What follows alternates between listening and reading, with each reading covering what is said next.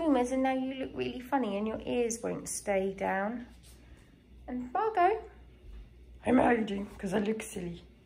Margot, please tell me, where is my other slipper? Where have you taken it? Where's my other slipper? I've hidden it. Now you're going to have to hop. oh,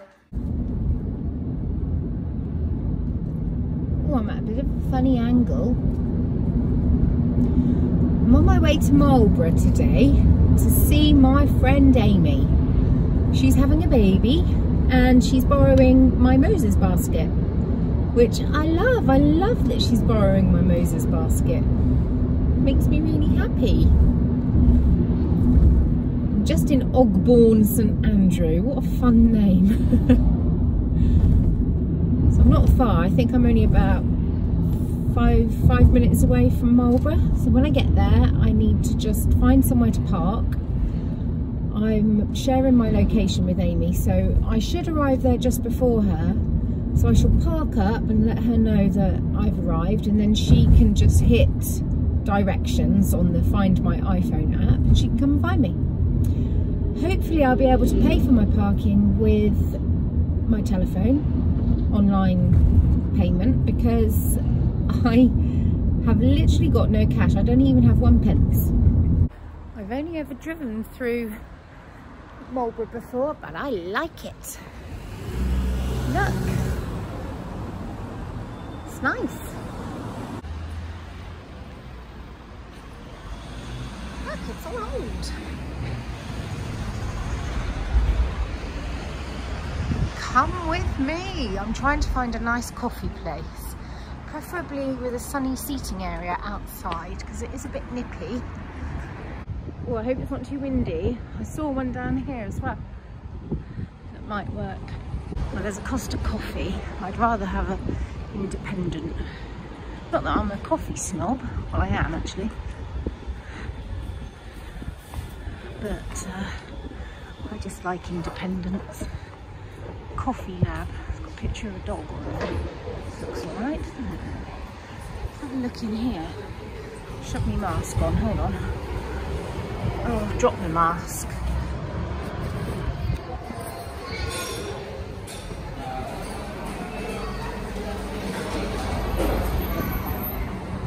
Oh, it's nice.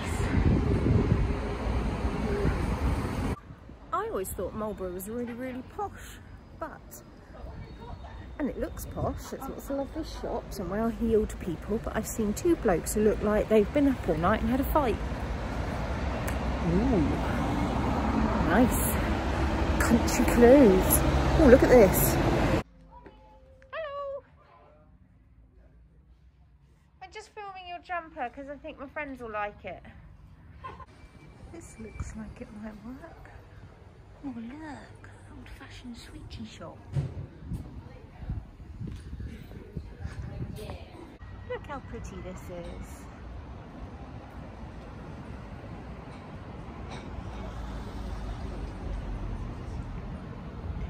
Hmm, looks like they've got some nice things in here. Ooh.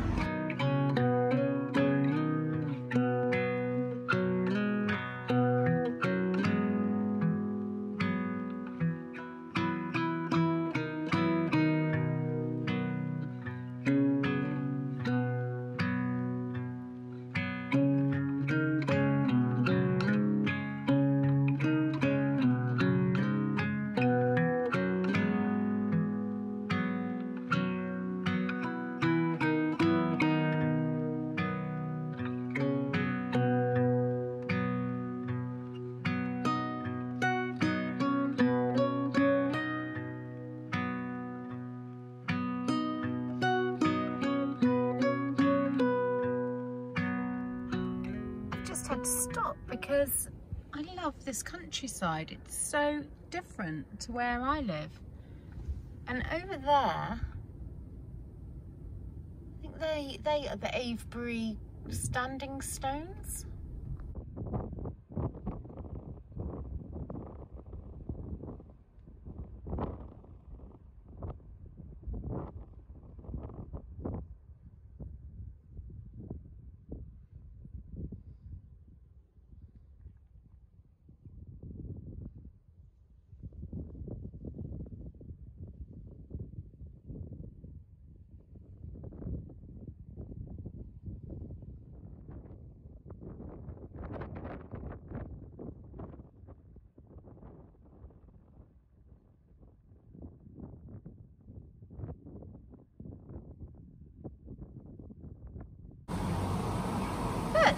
Over there.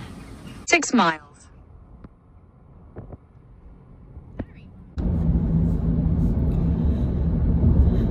I don't know for sure, but I think they are the Avebury Standing Stones. So I'm going to Google. Oh, Winterbourne Monkton. That's the village I'm about to drive through. It's a fun name as well. I'm going to Google all about what they are. The whole village seems to be set in amongst masses and masses of these standing stones. So there's a great big long strip of them. And then there's a little village and that's nestled in amongst even more huge, huge stones. Really interesting. And the funny thing about driving through there just then was not only um, the feeling of, wow, what is this? And oh, I like those. But a sense of, um, this sounds stupid because I haven't sat with these thoughts for long enough but um,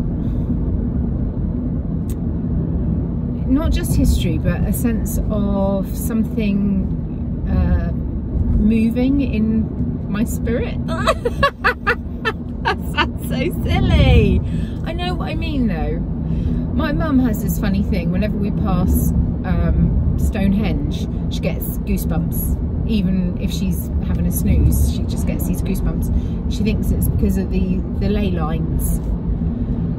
So um, I wonder if it's something to do with that. It's, it must be something ancient burial ley liney. We're not that far from Stonehenge here, really, um, as bird flies. Um, really lovely, the countryside around here. It's much different it's got a different feel. The skies are bigger than where we are. It's flatter. It's undulating, but it's flatter than where I live. It's beautiful. And it's more arable cropping. It's more arable than dairy. We've got a lot of dairy around our way. What is that noise? It's very windy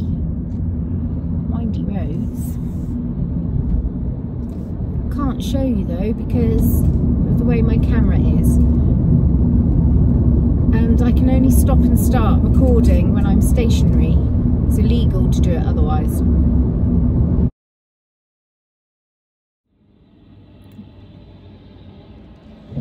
It's Pete! you can't see but there's a massive tractor behind me. That was Pete. Pete, the other day, he um, he saw me going down the lane with my basket. I was on my way to Sue's house to pick her elderberries to make elderberry syrup. I've made her the jam from her raspberries did I tell you she can't eat her raspberries at the moment? They're not on the diet list because she is having cancer treatment. So I picked them all, she's not well enough to pick them all, and um, turn them into jam so that she can eat them when she's better. Um, and I said, oh, got some nice elderberries here, Sue. Do you, have you ever done anything with them? And she said, oh, I used to make elderberry syrup. I said, oh, I'll make some. Never done that before first time for everything. So um, I, was toddling down the lane with my basket to get these um, elderberries. I hope this isn't too wobbly. And uh, I saw Pete and he said, what are you doing with that, Gaynor? I said, I'm going to pick elderberries. He said, I've got elder trees in my garden. I've got berries. Do you want them? I said, oh, yeah, all right then. Anyway, we got into the garden he's got a really big garden it's only him so quite a bit of it is crazy. And uh, we couldn't reach most of them. He said hang on a minute. Off he went. Next minute he's cut his tree down so that I can get to the berries. I said well Pete that's all well and good for this year but how are we going to have any next year? And he said oh it'll grow back. It'll grow back from the stump. It'll grow back like a weed so we're good for berries next year as well so funny though and then he said um, do you like flowers I said I do he said, I'll pick you some. So he took me into the garden part where he grows flowers and he picked me a load of sweet peas and a load of sunflowers. And then he said, do you like courgettes or marrows? And I said, I do. So he went and picked me his massive courgette marrow. We're still eating it now. Brilliant it is. Then um, he said beetroot. I've got loads of beetroot. He just gave me the beetroot. Um, I don't like beetroot, but I didn't have the heart to tell him, bless him. Such a nice man. I'm picking up Wilf now. Water polo. He's been to water polo. Um, so I'm off to do that. And then when I get back, cooking spaghetti bolognese. Hopefully no one will moan about it because everybody loves it. And then I need to catch up with all the things I didn't do today, housework wise, get ahead for tomorrow morning, do the packed lunches. I've had such a nice day though. It's been absolutely lovely. My journey to Marlborough to meet Ami, you'll have seen by now, Taylor S Studio, um, was not the most picturesque, but I had a lovely time. I was rocking out to all my favourites from Red Hot Chili Peppers. Now they've got a big body of work and I don't like a lot of their songs, but there's about five that I really love and I just played them over and over again, sang my head off and made up my own words. And then on the way back, I saw those Avebury stones. I've had a quick read and it is, I think it is the world's largest ceremonial henge. It's like a, not Stonehenge, but I think they called it a henge. Anyway, st stone circles. It's, um, I think they said it was Neolithic. I'm going to stop now and look it up properly. I'm here now in the car park ready to go in and collect Wilf. I've got about five minutes before I need to go and stand outside. So I'm reading the National Trust website for Avebury. If I remember, I'll link it below. But if you want, if I forget, just Google National Trust Avebury, A-V-E-B-U-R-Y and it says that Avebury stones are the largest stone circles in the world. Avebury, the village, pretty village nestled within the Avebury stones, is part of the World Heritage Site of Avebury and Stonehenge um, because of its outstanding Bronze Age and Neolithic history.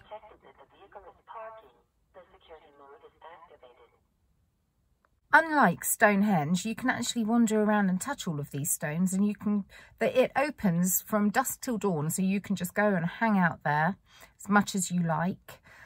And from what I understand, there's a ditch and a bank. And this was all done, all of these monuments were done during the Neolithic and Bronze Age with the most primitive of tools. So how these people managed to all come together. And when you think of how small the population would have been back then and spread out, they all came together to create this. That just blows my mind. How long it must have taken and the fact that people didn't live that long back then either blows my tiny mind. I was going to become a, National Trust member because I we've got a National Trust property not too far from us and I really want to go back to Stourhead. I used to hang out there all the time when I was younger. And I we're not far from Bowood House either. I'd like to go there. And now that I've read up about Avebury Stones and Avebury Manor and the National Trust's work there, I I'm sold. I'm going to put it on my Christmas list.